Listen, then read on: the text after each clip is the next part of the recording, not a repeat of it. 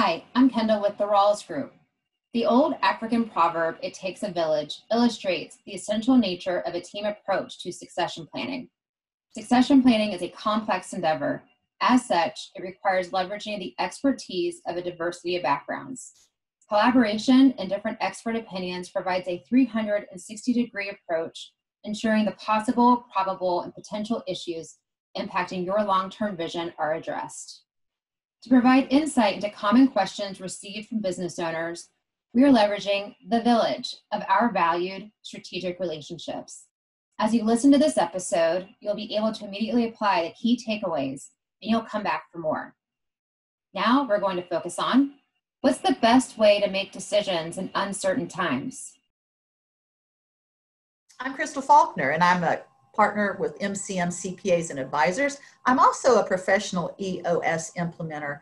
And what I explain to my clients when I'm working with leadership teams implementing EOS is that when you have economic uncertainty, whether it's COVID 19 or any other economic uncertainty that causes us to have to make decisions, it causes us to be much more solutions oriented, sometimes faster than we have historically had to deal with. One of the tools that I help leadership teams learn to solve problems is a tool called IDS. And I stands for identify, D is discuss, and S is solve. And so what we do is leadership teams come together, they prioritize the most important things that we need to solve today.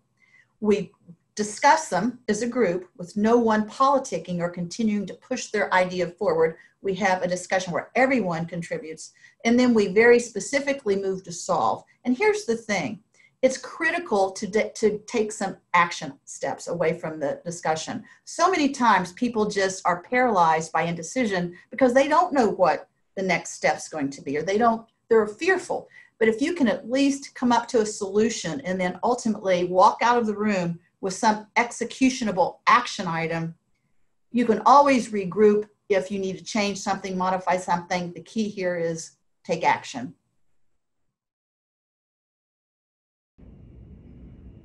First, you need to gather as much data as you can.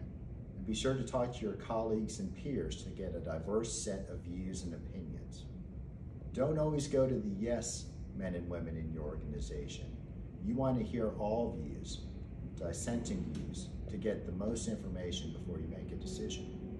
Another thing you can consider doing uh, to help with employee morale and anxieties is do an internal anonymous survey to get their input on what you're proposing and what your plans are. And always be flexible and ready to adapt to a dynamic situation. Well, let's start the question with a little bit of background. I wear two hats. As a CFP, I work with families and financial on their financial planning and wealth management issues, but I also am a small business owner.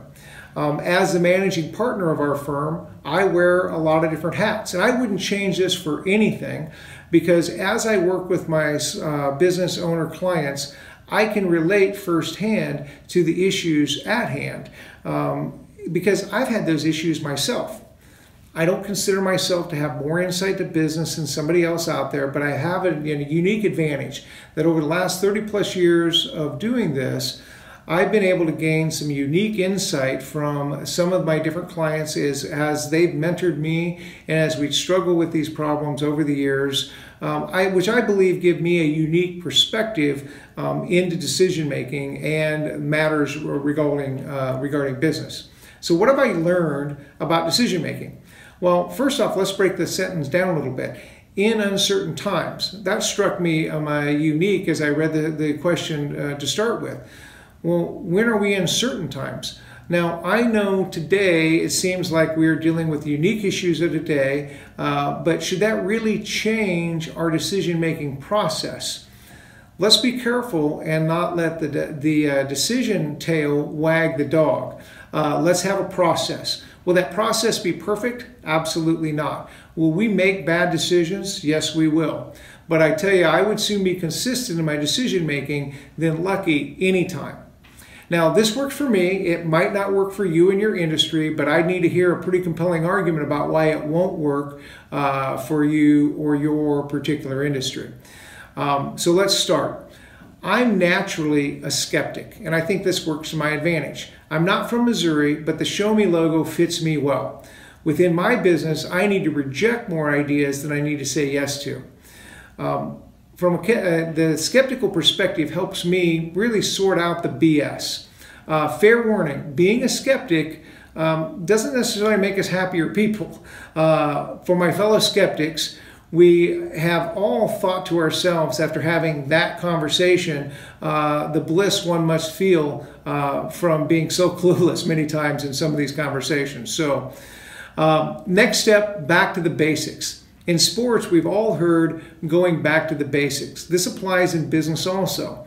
Does this fit our core competency, um, our core values? Is this what we really do, and is this what we're really good at?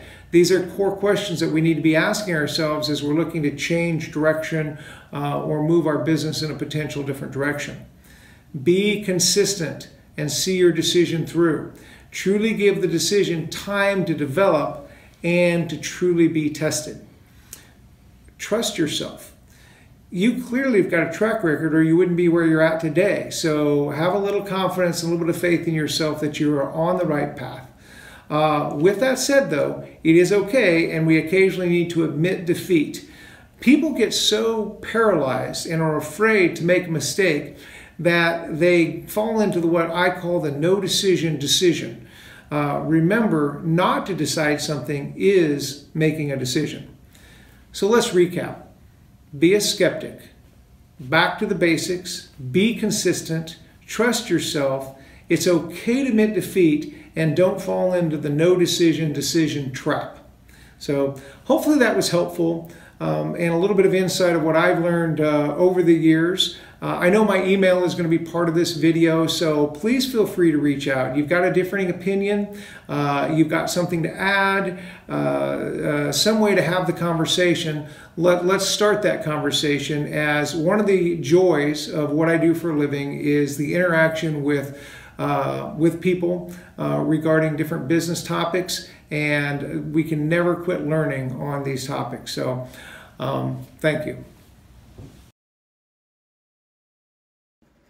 So the question I've been asked is how do you make decisions in uncertain times? And certainly, we're currently living in uncertain times. They're volatile, they're uncertain, they're complex, and they're ambiguous. So the best way to make a decision today is the same way that it was a good way to make a decision before there was a pandemic involved in the crisis. Step number one is you want to identify the problem. Too many times people get all wrapped up in symptoms rather than causes. And a lot of times a symptom may be something that goes along with it. It's conditional, but it is not causative. So what we want to look at are what are the real causative factors for the problem you're dealing with. A lot of times I hear our clients tell me, uh, what we really need in our organization is a problem solver. And I tell them, the first thing you need is a problem identifier. Let's work on the symptoms first, and then we can get to the root causes of those symptoms and deal with the real problem instead of just what appears to be what is causing us a lot of angst at the moment. Step number two is to identify some alternatives because in many instances we approach a problem as if everything we had is a tool or a hammer and all of the problems are a nail. So part of what we have to do is figure out what tools are available for us right now to begin resolving some of the issues that are associated with the causes. Step number three is choose. Choice is a very difficult option, and many times we decide to develop so many options that we become option bound, and it really paralyzes us and keeps us from moving forward, which in essence is step number four, and that's implement the solution that you've decided that you want to follow and put in place. In order to have that happen without a great deal of resistance from other people, you need to do two, three things. Step number one, you have to let people know that conditions have changed and that there's a need to do some things differently to take care of the problem. Step number two is you have to make the solution simple enough so that they're not intimidated by it. And step number three is you have to give the old way of doing things that may in fact have created the problem that you now have to deal with a decent funeral. And a way that you do that is to remind people that up until now, the way that we used to do things was a great aid to us because it provided us consistency and predictability. From this point forward, especially in uncertain times, we're going to be dealing with things that are uncertain, they're complex, and they're ambiguous. So keep it simple, give the old way a decent funeral, and give people time to adjust to the new solutions to what may have been old problems. Thank you to our strategic partners, The Village, for participating and sharing your perspective. Do you have a burning question you want to discuss with an expert? Feel free to submit it via the Ask an Expert link featured on the page. Continue to listen to the series now or come back later for more. Each question featured may want you to learn something new.